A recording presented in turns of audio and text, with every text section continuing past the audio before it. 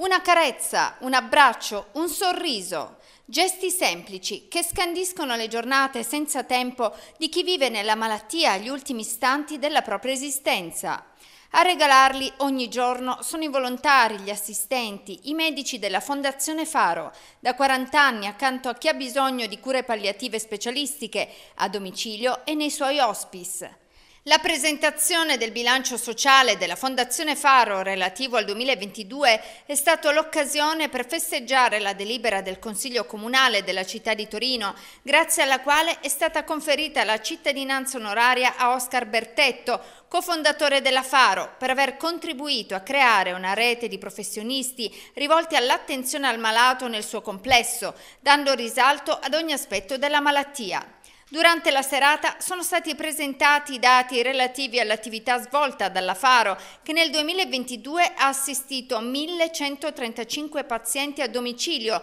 e 431 persone nei suoi tre hospice, garantendo 47.774 giornate di assistenza. Il servizio di psicologia della Fondazione ha portato avanti le iniziative a supporto delle famiglie, come il progetto Protezione Famiglie Fragili e il servizio Faro dopo, dedicato alle persone che hanno subito un lutto, fornendo sostegno a 652 nuclei familiari. Giugno mese della ricerca in cure palliative, oggi notizia abbiamo la città di Torino ha conferito la cittadinanza onoraria al professor Bertetto che è uno dei cofondatori della Fondazione Faro, pochi giorni fa abbiamo chiuso un accordo quinquennale con l'Università di Torino che porterà a 430 mila euro erogati per fare una serie di cose, per fare cultura di cure palliative, direi che meglio di così non si può fare. Bertetto è stato con il professor Calciati il fondatore della Faro. Lui personalmente ha sottoscritto l'atto costitutivo 40 anni fa e che venga riconosciuto a lui per la Faro, io credo,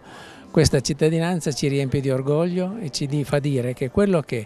è stato pensato allora dobbiamo continuare a portarlo avanti con grande coraggio, con grande animo, con grande entusiasmo come abbiamo sempre fatto. Io vengo da un'esperienza in cui quando gli ammalati raggiungevano le fasi avanzate di malattia purtroppo se rimanevano in ospedale venivano circondate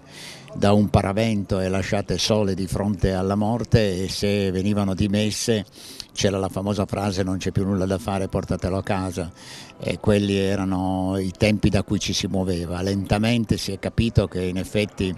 nelle fasi avanzate di malattia c'è molto da fare sia dal punto di vista di controllo dei sintomi, in primo luogo il dolore ma non solo e in secondo luogo anche come relazione con il paziente e i suoi familiari. Io credo che la Faro abbia insegnato che la medicina contemporanea non può essere soltanto tecnologia, non può essere soltanto scienza intesa come sperimentazione ma deve essere anche relazione e comunicazione con la persona malata. Fondazione Faro è una gamma di servizi altamente qualificati, professionisti nel campo medico, ma soprattutto un abbraccio caloroso, umano, gentile, in un momento delicato come il fine vita. 153 collaboratori tra dipendenti e liberi professionisti, in aumento rispetto agli anni precedenti. Il motore della fondazione però sono senza dubbio i 217 volontari che ogni giorno gratuitamente offrono le loro mani, i loro sorrisi e il loro grande cuore a chi ha bisogno. Eravamo 208, invece siamo aumentati a 217 e abbiamo in corso ben due corsi di formazione nuovi uno a Lanzo e uno a Torino, perché abbiamo bisogno di nuovi volontari, perché i servizi e diciamo, le attività della Faro, chiamiamo l'attività della Faro, sono in costante aumento. Abbiamo maggiormente bisogno di nuovi volontari che si prestino a fare il loro servizio a domicilio, perché aumenta il numero eh, pazienti al proprio domicilio.